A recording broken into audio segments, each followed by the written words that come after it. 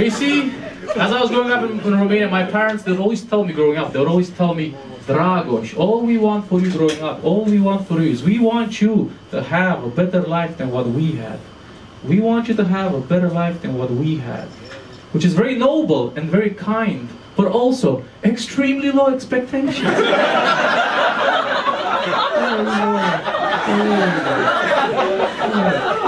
oh.